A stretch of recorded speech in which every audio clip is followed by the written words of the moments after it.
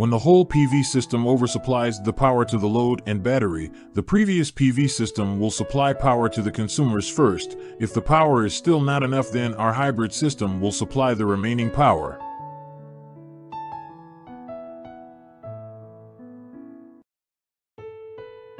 When the battery SOC reaches 100% set stop SOC value, the previous on-grid PV system will stop inputting power to our hybrid inverter.